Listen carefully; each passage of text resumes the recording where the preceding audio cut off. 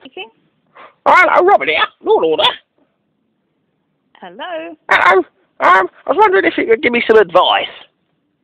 I'll try. Um, uh, my dog keeps doing something very embarrassing. Really?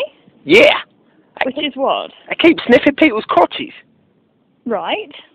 Every time. The other day, the the electricity guy came round and read the meter. The dog went straight up to his crotch and started licking it.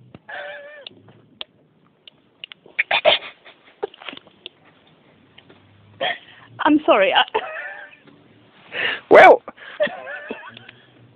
oh, embarrassing. And the, the, the thing was, I don't, I don't think he minded. really?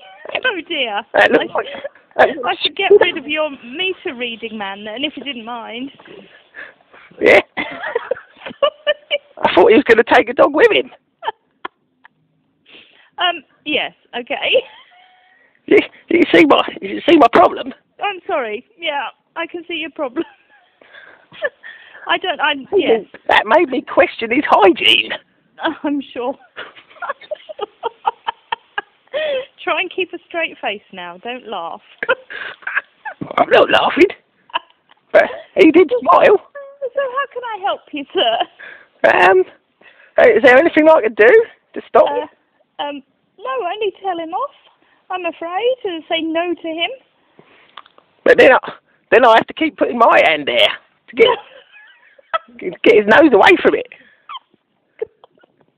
Look, stop making me laugh. I've got bad ribs.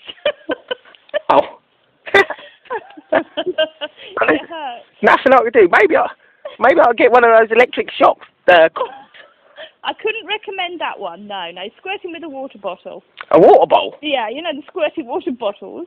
But but mind out that you don't make make people very wet with it.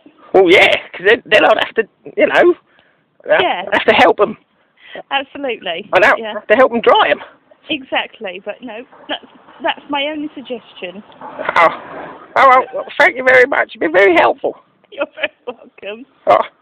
Bye.